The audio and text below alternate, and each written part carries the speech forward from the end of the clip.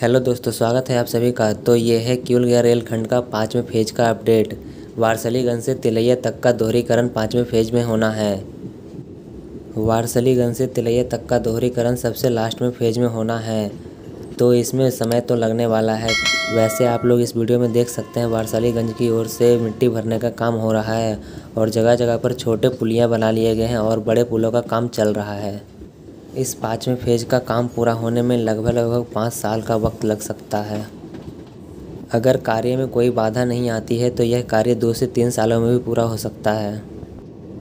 तो दोस्तों, आप लोग वीडियो को पूरा देखें। मैंने वारसलीगंज से नवादा तक का पूरा वीडियो कवर किया है। इस वीडियो के बाद मैं आप लोगों के लिए एक नया वीडियो लाने वाला हूँ, जिसमें जिसमें मैं आप लोगों को यह बताऊँगा कि क्यूल गया रेलखंड का अब तक का दोहरीकरण कहाँ तक कंप्लीट हुआ है और कहाँ तक बाकी है।